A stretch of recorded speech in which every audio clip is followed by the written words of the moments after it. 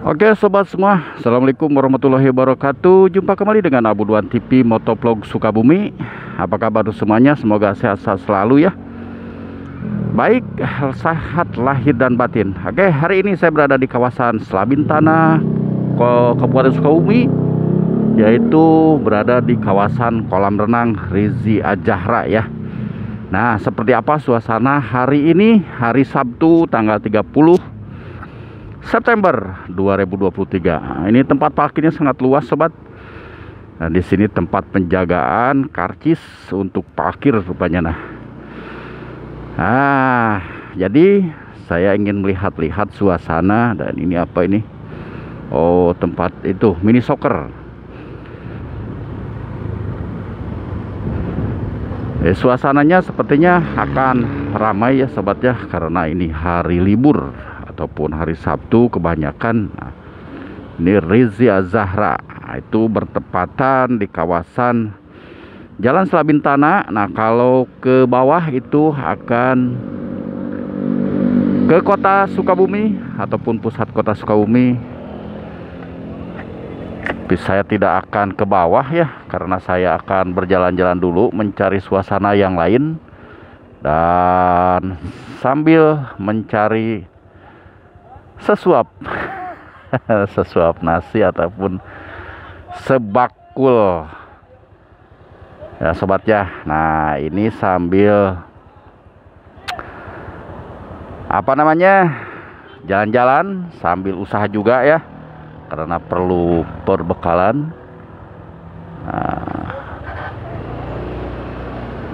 dari Rizia Zahra saya akan coba untuk naik ke atas yaitu ke kawasan Selabintana Mentok ataupun Selabintana paling ujung. Nah, di atas pun ada beberapa tempat yang biasa dikunjungi apalagi kalau hari-hari libur ya. Kalau Selabintana Hotel Selabintana itu sudah tidak asing lagi. Dan saya akan coba untuk ke satu tempat di mana tempat itu katanya ada. Ah, ini dulu tempat latihan tinju sobat nih di atas nih. Pertina dulu saya sempat juga ke sini untuk mendaftar jadi petinju. Sekarang sudah nggak ada.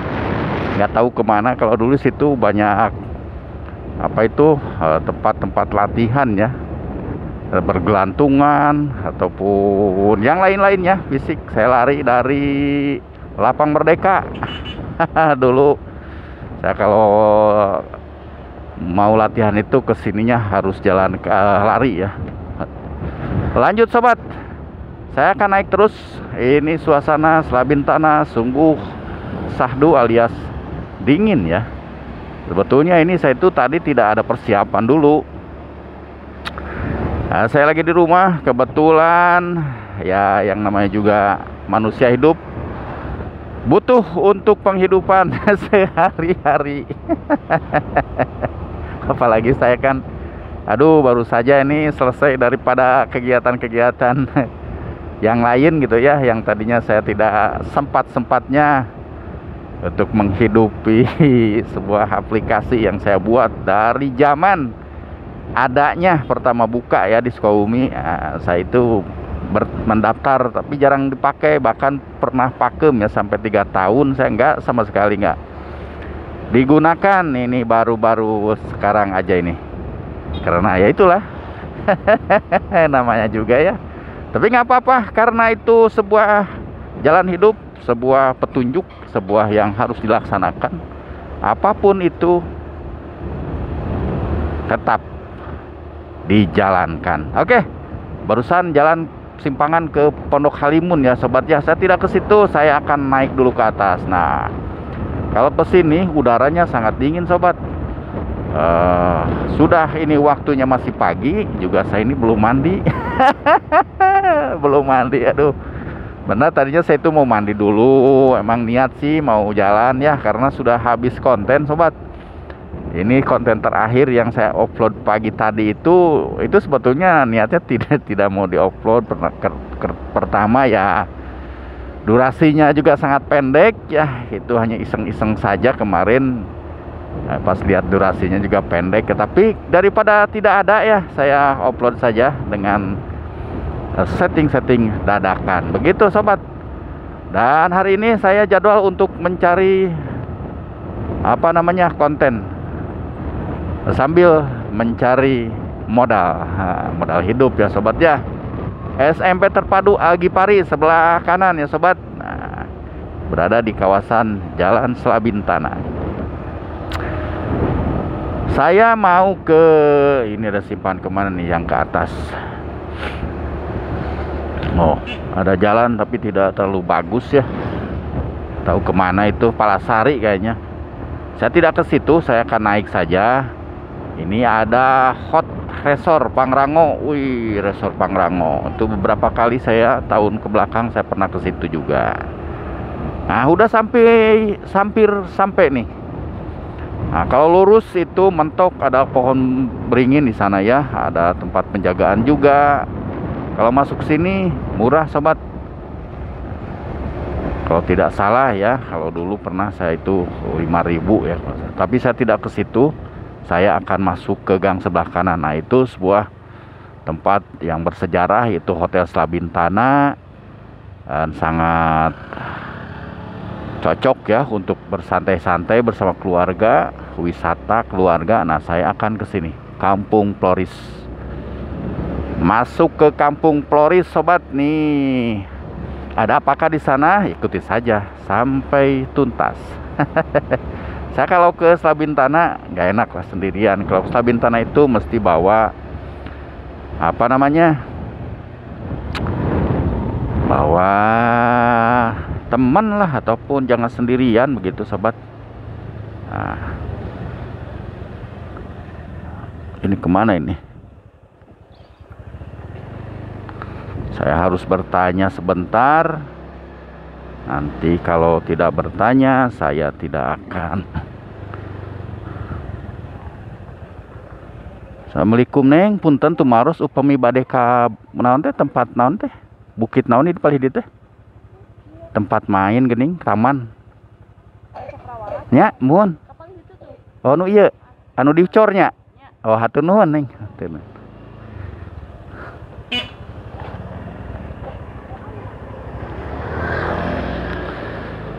Nah, saya mau ke Taman Cakrawala, sobat.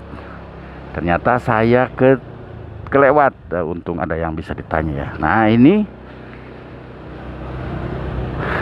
jalan yang menuju ke Taman Cakrawala. Nah, di sini seperti apa kondisinya? Oh, di atas itu gunung gede ya, sobat ya. Gunung Gede Pangrango. Uh, jalannya bagus ini. Nah, ini posisi persis berada di ah ini dia tukang kopi. Aduh. Persis ini di pinggiran uh, Hotel Sabintana ini sebelah kiri saya yang rimbun-rimbun begitu itu adalah Katineng. Nah, oh banyak yang jajan ya. Oh ternyata ramai juga. Ini kebun teh ya.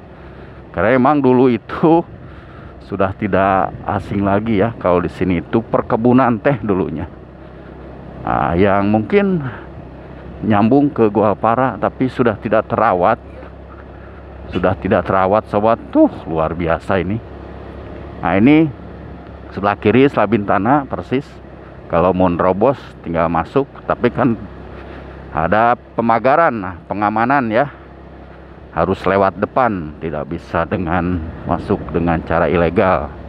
Ya kecuali yang mau ngarit mungkin bisa saja.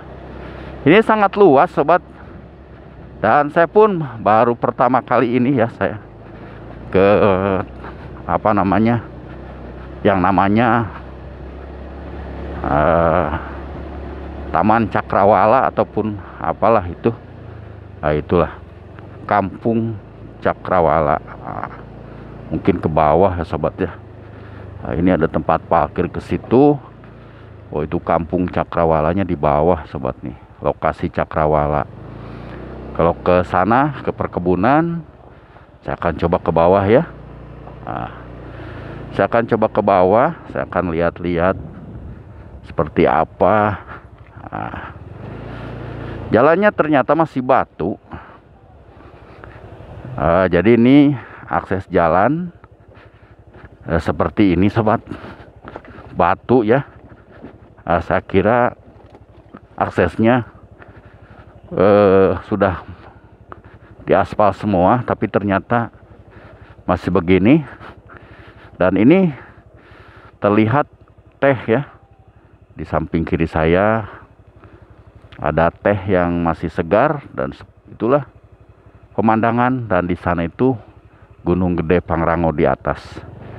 Gak apa-apa saya karena sudah masuk sini jadi saya harus terus untuk melihat-lihat sampai ke mana ini sampai seperti apa sih suasananya karena sangat ramai sekali ya uh, ceritanya ataupun cerita bahwa keindahan di sini itu sangat luar biasa hanya saja jalan yang juga tidak bisa dihindari.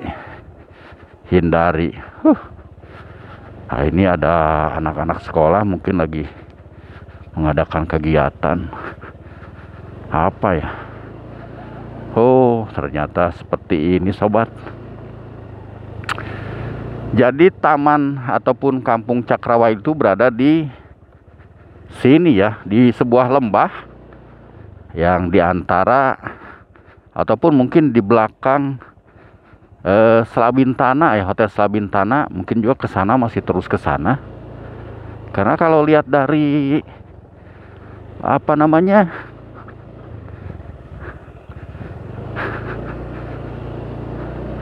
Dari sebuah pemberitaan ini sangat cantik-cantik lokasinya.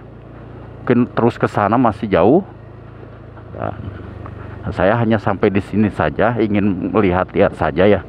Ada apa saja dan fasilitas apa saja yang ada di sini Nah, ini fasilitas area camp, tempat bermain, bermain air, aula, gazebo, ayunan, musola, toilet, dan lain-lain.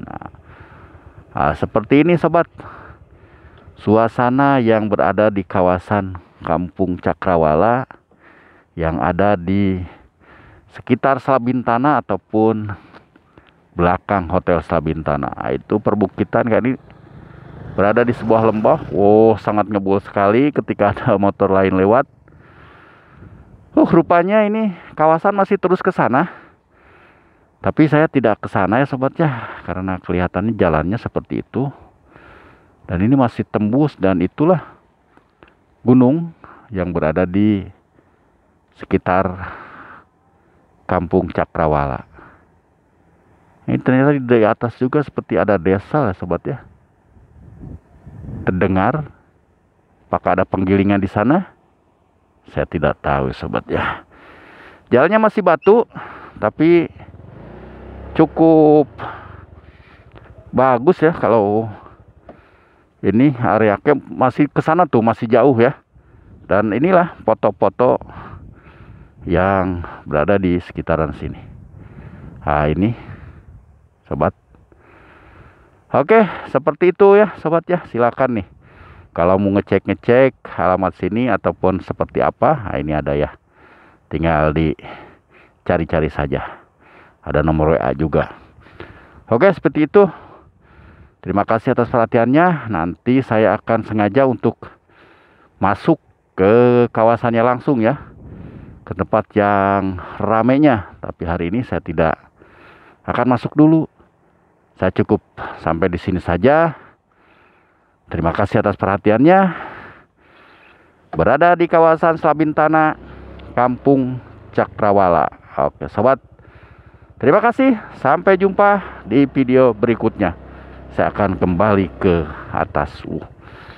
nah, ini kebun teh yang mungkin masih dipetik ya ini masih terawat ini masih ada hubungannya dengan perkebunan teh Gua Para ataupun Pondok Halimun.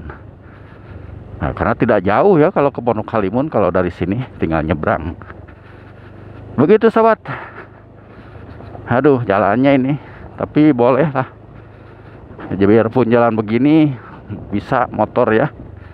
Jadi masuknya di ke kampung Floris ya pokoknya mentok Salabintana uh, nyimpang ke kanan sedikit ambil ke kiri. Uh. kebun tehnya masih luas. Oke saya kembali ya. Ini sudah ditutup sebetulnya. Nah